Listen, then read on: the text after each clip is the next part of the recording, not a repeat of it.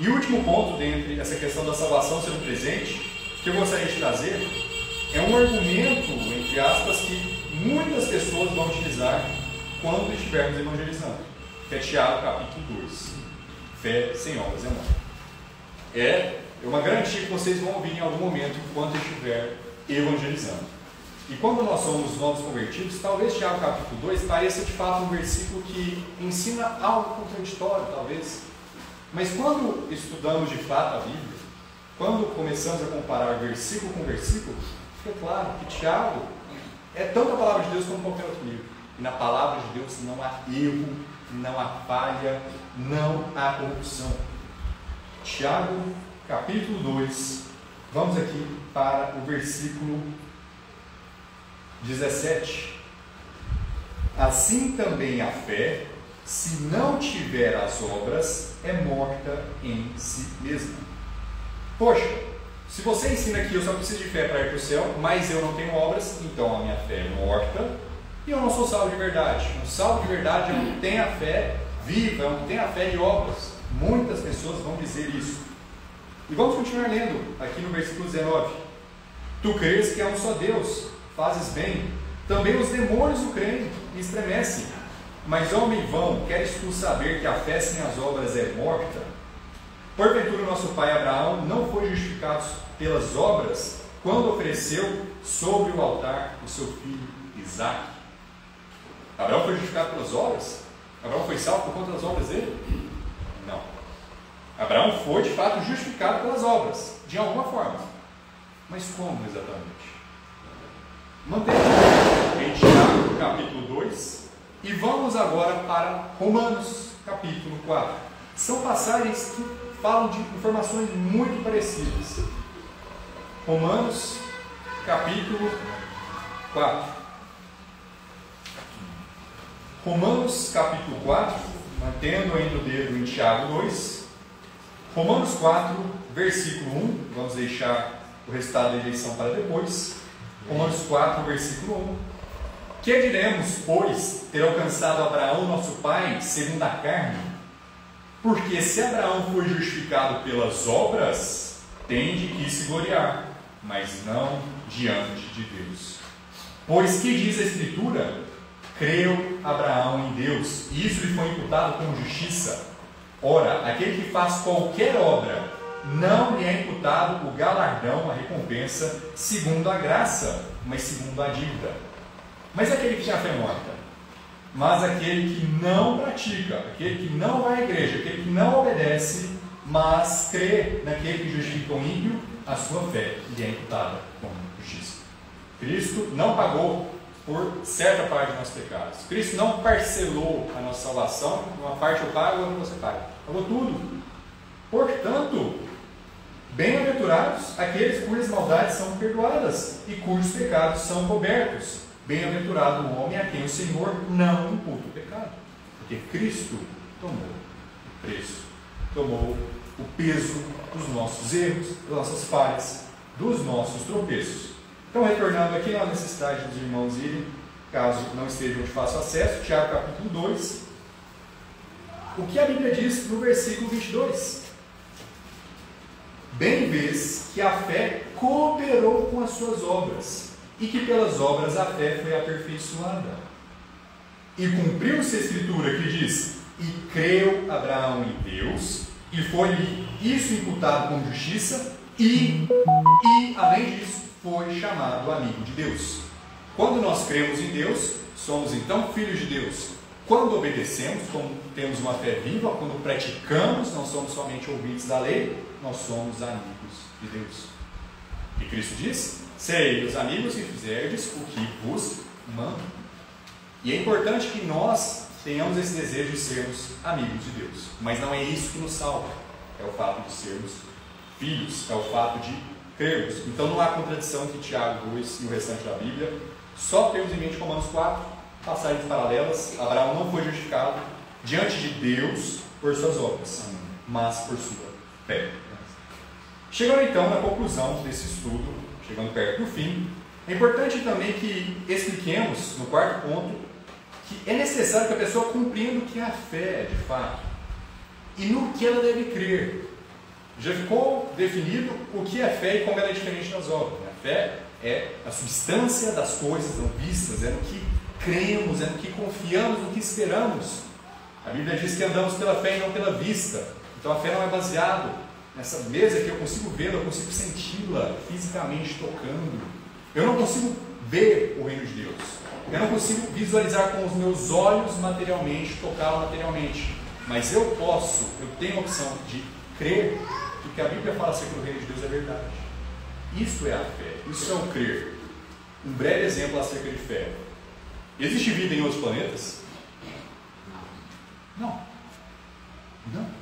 Agora, algum ser humano já foi em cada planeta, olhou, olhou, olhou, observou? Não, também não. Então nós não temos uma comprovação, olha, a gente foi em cada planeta e viu cada planeta e não tem vida lá.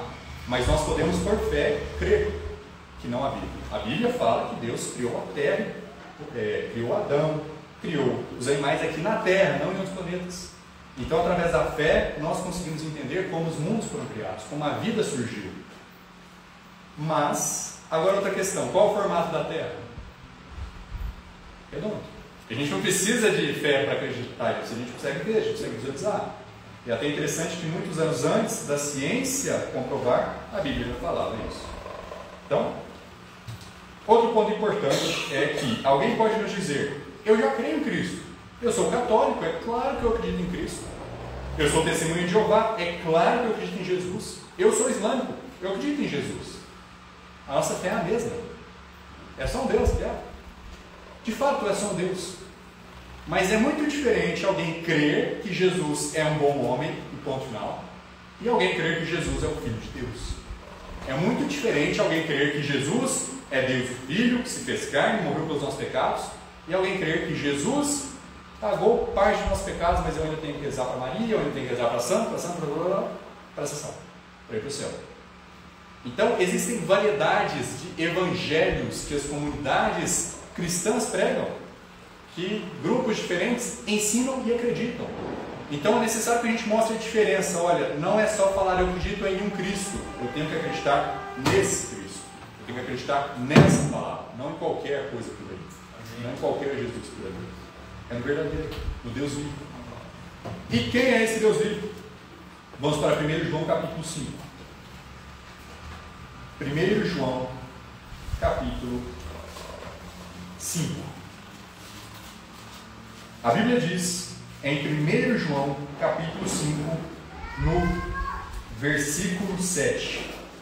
Porque três são os que testificam no céu: o Pai, a Palavra e o Espírito Santo. E estes três são um. Deus é um só Senhor, Deus é um só Deus, não temos três deuses, nós temos dois deuses, temos um Deus, um Senhor, um Salvador.